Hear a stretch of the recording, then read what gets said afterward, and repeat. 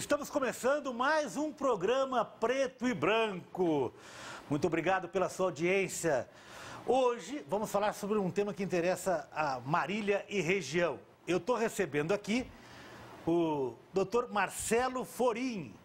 Doutor Marcelo, obrigado pelo convite de ter vindo aqui. Eu que agradeço, Paulo meu obrigado, dizer, obrigado pelo convite. Obrigado por ter aceitado o convite da gente para falar sobre as eleições da OAB, Eu- que é uma- uma- um assunto que interessa toda a sociedade de Marília. Antes de eu começar a falar, porque o assunto é sério, eleições da OAB, é, Ordem dos Advogados do Brasil. Marcelo, quantos anos te conheço? Não, não vai, não vai, Vai falar. pra- vai que lá de 30 tá- anos, Por que, que você tá com o cabelo branco e tantas entradas assim, hein? Eu quero saber, por que isso? É experiência. Experiência. É Então, então eu experiência. não tenho experiência, né? Você tem experiência, eu mas você tenho se cuidou, né? experiência, né? Não, o Marcelo, eu conheço ele há pelo menos uns 35, 40 anos, né, Marcelo? Hum. Na época eu jogava bola mal, continuo. não, agora só não jogo, mas jogava Hum. bola mal e o Marcelo jogava bola bem. E o Marcelo, o doutor Marcelo Folha, é advogado em Marília, ele é candidato a presidente da OAB. Fala um pouquinho, OAB Marília, dá um raio-x para nós. Primeiro, gostaria de agradecer o Paulo, né? Já falou a nossa história aqui. Não, não falei nada, só falei que você está velho e eu estou novo, só isso. E É. agradecer muito esse espaço, esse grande jornalista. É sempre importante a gente né, poder estar levando um pouquinho dessa informação à OAB. A OAB Marília é uma grande instituição, ela tem berço constitucional, onde toda a classe advocatícia, todos os advogados, eles têm como principal luta é a garantia dos direitos fundamentais do cidadão, do marilhense, do, Me do conta um, nacional. pouco- um pouquinho, pessoal que não conhece a OAB. Qual é o tamanho da OAB hoje? Em número de, E, é, de inscritos? Em número de inscritos, como é que, fun- como é que funciona aqui em Marília? Explica para o pessoal poder entender a OAB antes da gente falar da eleição. Porque tem gente que fala OAB, OAB, tá, vê no Jornal Nacional OAB, vê no, no Jornal Regional, vê na Folha de São Paulo, mas eu quero saber, aqui em Marília, como é que funciona, onde está a sede, tudo? Nós vamos falar do universo da cidade de Marília, É, 31ª subseção. Qual, qual- qual é a subseção? Repita. por- 31ª subseção também É. engloba Vera, é, Vera Cruz, Marília Vera Cruz. Ah, É em torno de 2.260 advogados inscritos, Hum. né? e em torno de 1.500 para essa próxima eleição estarão aptos para poder votar. ah. A eleição E- vai acontecer que dia? Dia 18 de novembro Hum. de 2015, Tá, 18 de das novembro. 9 às 17 horas, na sede da Casa do Advogado, Tá. na Gonçalves Dias. Então vamos lá. Essa é a sede da OAB aqui ou não? Sede da UAB, prédio próprio, mantido pela, pelas mensalidades dos advogados. Tá, e o que é que faz a OAB hoje? Hoje, como é que está a situação? O que, que ela faz? Qual é o dia a dia dela hoje? O universo marilhense. É. É, principalmente as prerrogativas do advogado. O advogado é aquele. V- vamos, vamos traduzir, pessoal que está em casa, as prerrogativas do advogado. Não, vamos falar. O que, que ela faz? Vai, arroz com feijão. Ela vamos lá. defende o advogado Ah, quando ele está ah. dentro da trincheira, vamos dizer assim, no Aí, dia a dia. Agora eu gostei, mas agora você falou bonito. Vamos Ah, falar o verbo mesmo. é. Então, na lida diária do fórum, do processo, sempre há embate, por exemplo, com a parte contrária, com o promotor, com o procurador, com o defensor. O advogado é aquele que está falando no lugar do, do cliente. É o que está levando a defesa, é o que está tentando convencer um juiz, é o que vai produzir a prova. Tá, e e- nem sempre, Paulo, é, as autoridades veem isso como uma coisa graciosa, né? Porque, às vezes, e a gente tem visto isso muito no panorama nacional, estadual, a, é, a mistura da, da imagem do advogado com a imagem do cliente. Né? O Brasil, a gente sabe, está passando por uma crise institucional muito séria. Né? Então, na- e o primeiro que leva a mensagem do cliente é o advogado. É ele que está lá no dia a dia, ele que está fazendo a defesa, ele está e, a produzindo. OAB, e a OAB, em termos de instituição hoje Marília, Exatamente. por exemplo, eu me lembro, é, porque eu fi- eu fiz, direito três anos, depois eu resolvi que não era a minha praia. Não eu falei, no máximo eu ia fazer júri, né? Porque eu gosto de falar, né? No máximo eu ia fazer júri. E eu me lembro que o, o hoje advogado doutor, doutor Lauro, ele trabalhava na OAB, ele fazia, recortava quando saíam os editais, as Sim. coisas. Então, é- essa infraestrutura, o que é que mudou nesses anos todos em termos de com a digitalização, com, a, com, a, com essa informatização dos fóruns, etc. O que é que mudou da OAB? Bastante, bastante. Plano de saúde, o que, que mudou? Bastante. Previdência? O mundo mudou. É. E, não, e, não, seria diferente com a OAB. Hum. A OAB tem que defender esses advogados. É ela que tem que levar toda essa prestação de serviço da maneira mais simples e mais eficiente para o advogado. Você deu um exemplo, o recorte do jornal. Diário Oficial, publicava lá audiência no dia tal, compareça com as suas testemunhas. O Lauro, por exemplo, ele fazia o recorte. E aqui... Um abraço, um abraço para o doutor Lauro, abraço. ele fala que ele não manda abraço. Estou mandando um abraço para você, abraço. doutor Lauro. Eu também quero mandar meu abraço a ele. É. E ele fazia o recorte e para cada advogado da comarca, da cidade, ele encaminhava pelo correio. E dali começava a correr o prazo. Foi se modernizando. Hoje não existe mais o diário oficial, né? Hoje é o diário da justiça eletrônico. Né? A OAB presta um serviço diferenciado para todo advogado que está inscrito e está em dia com as mensalidades, Paulo. Ele recebe lá no seu e-mail hum. toda a publicação dos processos que ele tem. É por ali que ele faz a contagem de prazo, é por ali que ele apresenta as defesas, é por ali que ele vai indicar o nome da testemunha, é por ali que ele vai indicar uma perícia, é por esses caminhos. Isso se atrela também a esse novo momento que a justiça brasileira, não só Marília, não só o Estado de São Paulo, mas como no Brasil um todo, passa pela eletronização dos processos. Né? Acabou o processo de papel. De hoje em diante, tudo é eletrônico. O tudo é advogado é digital. tem digitalizado, exatamente.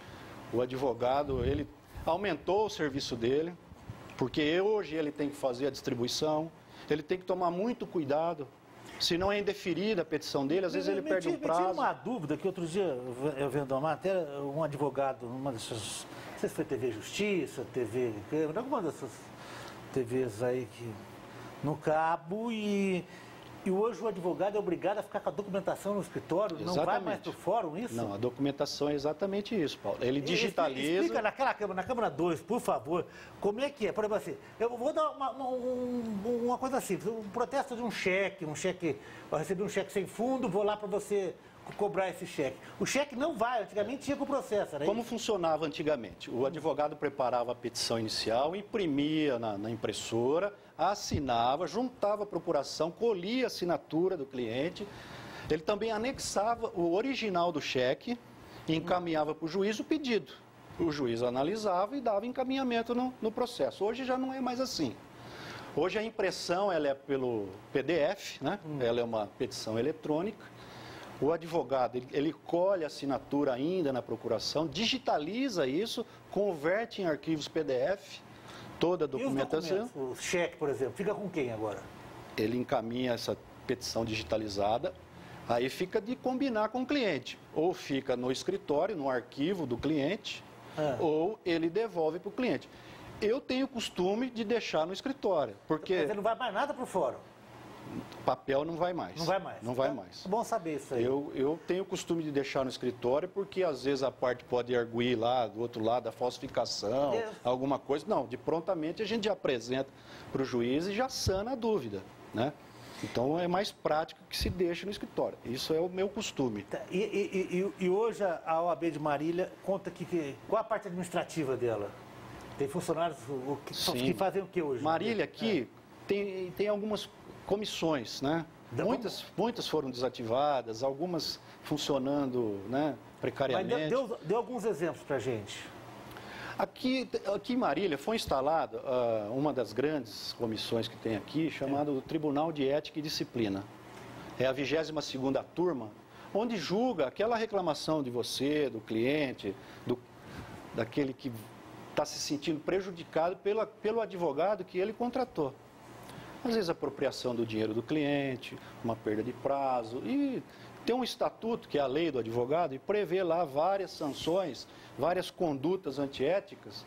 E é nessa comissão que a parte apresenta a sua reclamação, ela vai ser... E lá, lá você tem o quê? Tem secretária? Tem, tem secretária, tem, tem, tem computador, tem, tem instalação no prédio. É uma, é uma, é uma... O advogado que vem de fora também usa a OAB daqui? Essa comissão, ela... ela... Não, não, não, não, não, comissão, estou dizendo, essa estrutura que tem. Essa estrutura... Não é só para a comissão, mas também é para auxiliar ah. advogados de todo o Brasil. Isso, agora você está falando de sala de advogados nos fóruns. No fórum, não, nas na delegacias. casa do advogado é só para Marília, só para entender. Exatamente. Ah. Cada fórum, fórum trabalhista, fórum estadual, fórum... Tem a sala do advogado. Tem a sala do advogado, é cuida? mantida pela 31ª subseção. Então, você... Na delegacia da Polícia Federal, na delegacia... Tudo, é, tudo é OAB, então? A OAB que é cedido o espaço através de convênio. Mas quem administra? E nós, a, a OAB Marília, que administra. Que administra. Como você. Café, máquina, computador, papel. Xerox. Xerox. Xerox é pago um Sim, valor mas, módico, mas tá lá, bem. Mas, mas tá, tá lá. Exatamente. Tá, Nós estamos conversando aqui com o doutor Marcelo Forim. Marcelo vai estar tá falando um pouco da OAB, antes da gente falar das eleições.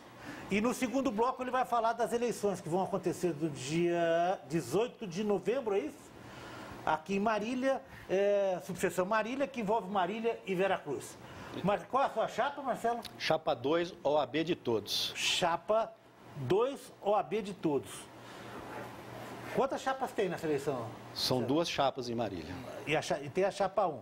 Olha, pra, a gente é democrático, está aberto.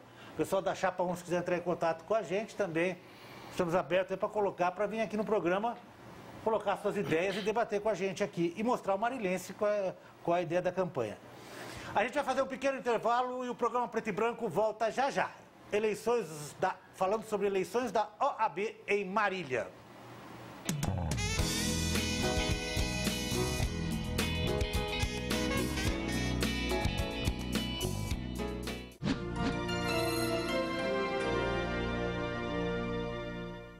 Descansar, viver momentos inesquecíveis e transformar sua casa em um verdadeiro paraíso. Isso é possível com planejamento e consultoria especializada. É assim que a equipe da Casa Sol Decor vai receber você. Venha e veja suas inspirações serem transformadas em uma linda e confortável realidade. Casa Sol Decor, em sintonia perfeita com o que vai te fazer feliz.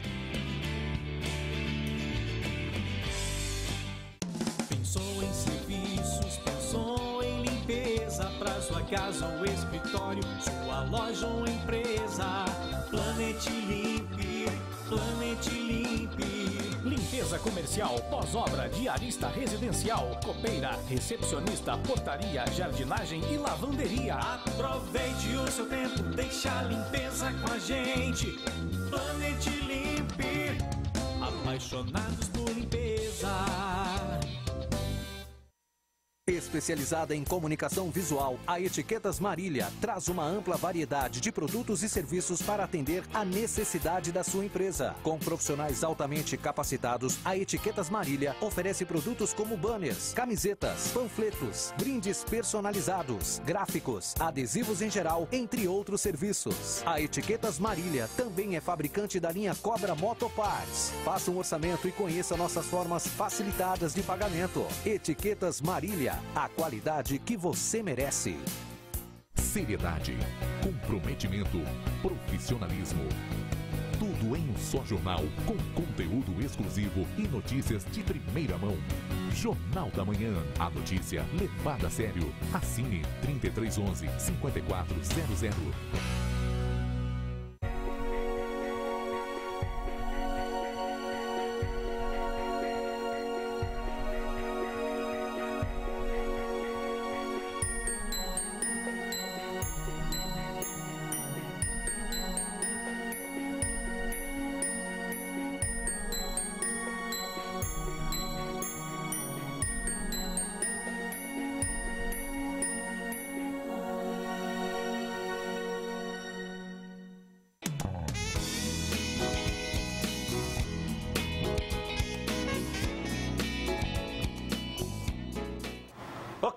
Muito obrigado pela sua audiência. Estamos aqui no programa Preto e Branco falando sobre eleições da OAB da subseção de Marília. Estou recebendo o candidato pela chapa 2, doutor Marcelo Forim, a chapa para todos. Doutor Marcelo, vamos lá, para a Câmara 2, aquela câmerazinha lá. Qual é a sua proposta para os advogados de Marília? Bom, Paulo, nossas propostas são bem simples. Primeira coisa é buscar um resgate. Né? Precisamos fazer um resgate nessa cidade. O primeiro resgate que a gente tem planejado diz respeito à valorização do advogado marilhense. É o que a gente estava conversando agora há pouco. Né? Essa, essa crise grave que estamos atravessando não pode respingar na gente.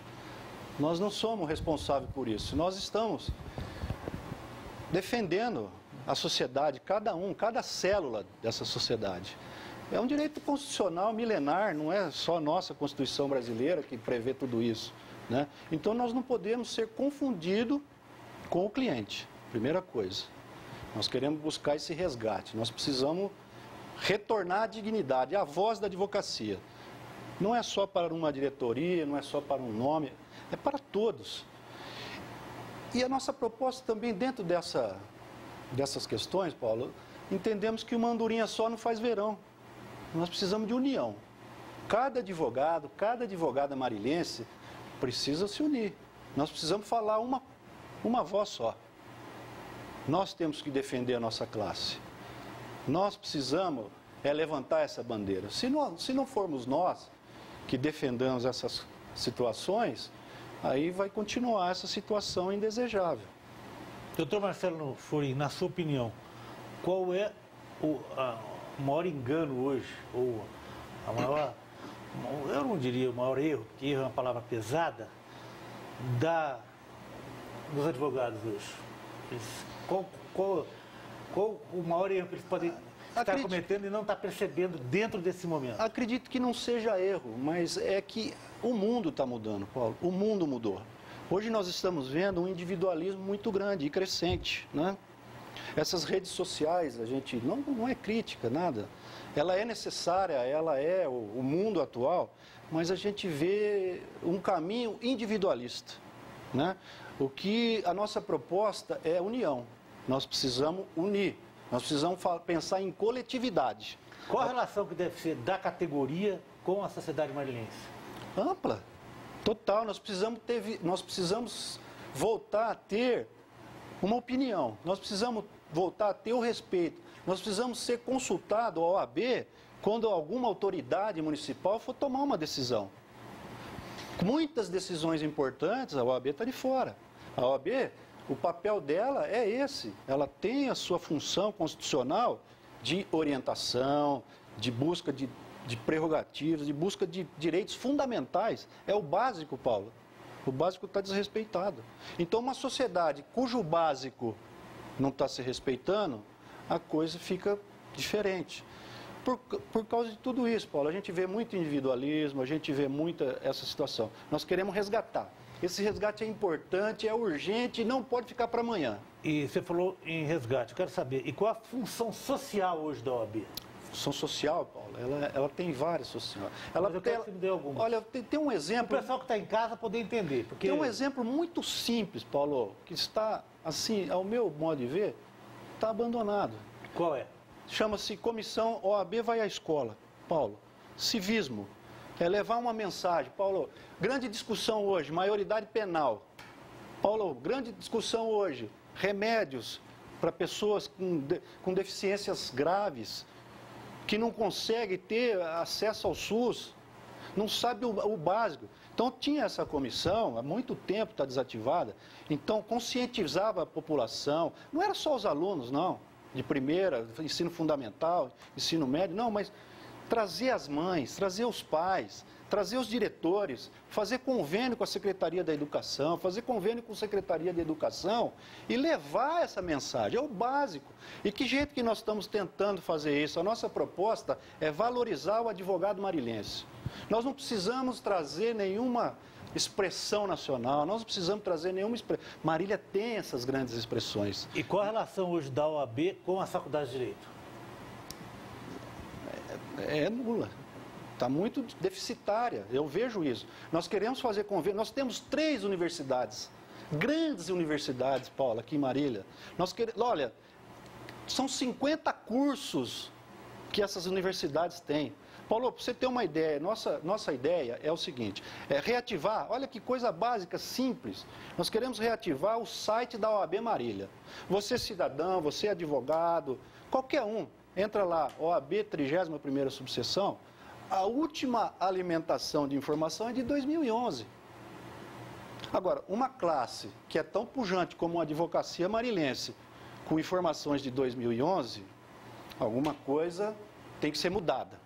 E dentro dessas mudanças, dentro desse próprio site, nós gostaríamos, nossa chapa 2, a proposta nossa, é o seguinte: vamos fazer convênio com a Univem, vamos fazer convênio com a Unesp, vamos fazer convênio com a Unimar e vamos trazer uma biblioteca digital, digitalizar documento. Primeiro porque Marília não tem espaço orçamentário, não tem espaço físico para você fazer uma biblioteca. Mas advogado precisa de livro. Advogado é todo dia estudo, estudo, estudo. Cada caso é um caso, cada caso tem a sua característica e todo dia o direito muda. Nós vemos a instabilidade da Câmara dos Deputados de, do, do Senado lá, que toda hora a nossa lei muda. Então nós precisamos trazer para o advogado ferramentas. Então, de, isso. Vamos fazer convênio com a Faculdade de Tecnologia da Informação. Isso. Olha, a OAB precisa desse site funcionando. Mas você não acha que você vai precisar de verba para isso? Não vai precisar de Não dinheiro? precisa de verba. Isso não precisa de Vai verba. precisar de mão de obra para isso? Precisa de mão de obra. Como que é essa mão de obra, Paulo? Porque- Estagiários. Desculpe, doutor Marcelo, mas as boas ideias todo mundo tem, mas na hora de pôr a mão na massa, ninguém quer colocar. Mas vai ter, porque o próprio aluno dessa instituição de ensino, ela precisa contar tempo de estágio. Paulo, se, se tem uma OAB forte, se tem uma OAB que tem alguma significação dentro de uma sociedade, quem é que não vai querer fazer um estágio dentro da OAB? Eu, eu qualifico a OAB como um dos, eh, eu diria assim, uma das últimas trincheiras da sociedade. Num momento como crise, nessa, que nós vemos uma crise moral, institucional, Sem uma dúvida, crise ética. sem dúvida. Eu acho, a OAB, como instituição, independente de quem quer que esteja lá, ela é uma das últimas trincheiras desta sociedade moderna. Ela pode garantir para a gente o respeito, ela pode garantir. É nós- Mas eu fico preocupado, por outro lado, outro dia, é, vendo uma entrevista de um ex-conselheiro da OAB, não me lembro o nome dele agora, o senhor já aposentado, tudo, ele falava assim: eu estou preocupado com os meus colegas. Por quê? Ele falou, porque eu já me aposentei, já fiz carreira, mas tem alguns advogados que, entrando com processo hoje, talvez não consigam receber, porque vão falecer antes, tal a demora dos processos. Tal a, a lentidão da justiça, tal a prescrição dos prazos. E ele preocupado com a categoria, que por, se por eu não entendo direito, mas eu estou. Se por um lado existe uma série de recursos que você pode utilizar, por outro, você está deixando uma- um monte da categoria, tá, um- uma série de advogados para receber demorando 10, 15, 20 anos. E como é que você mantém o famoso capital de giro para o escritório? É preocupante. Paulo, isso foi uma época em que você pode ver que existia esse individualismo que eu estou te falando. Se a classe não se unir e não exigir, e não for atrás, e não peticionar, e não. Não precisa ser mal educado, não precisa você querer a pau e pedra a sua prestação judicial, a sentença. Precisa o respeito, precisa o diálogo entre essas autoridades, precisa restabelecer tudo isso. Nós precisamos essa dignidade. E, e Ok, várias, várias ferramentas também já estão à disposição. Não que eu estou defendendo as Não, não, instituições, é, mas é. No- no- O nosso tempo é curto e, graças a Deus, a, a entrevista, é, a gente pode colocar um pouco das ideias para a população Sim, poder ver e ouvir. Eu quero que você fale quais são os membros da sua chapa. Vamos lá. Bom, presidente Ah. Marcelo Florim, Ah. vice-presidente Luiz Vieira Carlos Júnior, Hum. advogado também já há 20 e poucos anos na cidade. É. a secretária a doutora Paula Mangelar do Catelli de Maio. O nosso secretário adjunto é um jovem advogado, porque precisa também trazer uma mensagem para esses que chegam e estão aí precisando encaminhar a sua profissão, né? O Evandro dos Anjos. E como tesoureiro, o Alexandre Manhães. né? Entendemos que é uma. Isso é a chapa completa. Essa é a nossa chapa. São- tem, tem conselho, tem mais alguma coisa ou não, não? São essa é uma diretoria para a 31ª subseção, Que vai de- composta de... cinco diretores, né? Assume em que data, caso Dia vocês 1º de janeiro. vençam? Dia 1 De de 2016. janeiro E vai até 31 de dezembro de 2018. 2018. Eu tenho 30 segundos para agradecer. Muito obrigado pela presença está à disposição.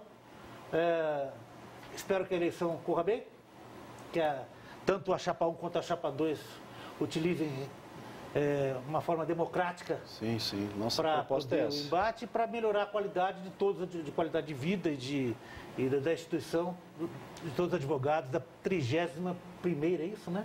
31ª. Sucessão de Marília.